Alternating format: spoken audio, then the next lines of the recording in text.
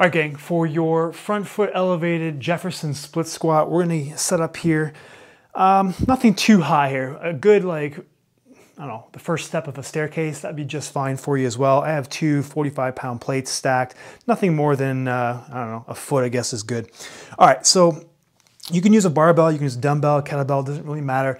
And this is more of a mobility drill uh, in terms of, a, um, as opposed to a strength exercise. So it doesn't have to be anything extremely heavy, okay? So I only have like a 20, 30 pound dumbbell here. So what you do is get in this split stance position, front foot uh, elevation. I'm looking to start mostly in uh, a vertical shin angle. You can be a little bit forward, just so you're not, you know, letting that knee translate too far over the toes. Okay, so bring that shin angle back somewhere around 90 degree there. I'm gonna grab whatever it is that you're using, slight double chin, big breath in, exhale, and just think about pulling the bottom rib cage, kind of like scooping them down and back towards your spine, and naturally, or that will naturally kind of give me a little bit of a posterior pelvic tilt. It's very subtle, and that's all we really want. Okay, then from there, three quarters of your weight is on that front foot. We're gonna take a breath in. Maintain your alignment. Exhale as you drive up.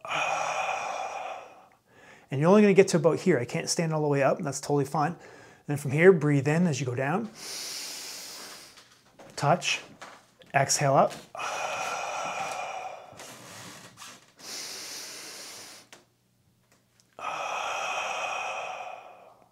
Okay, give you a couple from the front here, just so you can see that like big toe or middle of the foot, knee, hip are all in line with one another. And again, I'm gonna start out here kind of in the end range of this position. So again, three quarters of your weight's on that front foot. You have a vertical shin, you have good alignment, nice stack between the thorax and the pelvis. This bottom knee is basically right underneath my hip. From here, breath in, exhale up.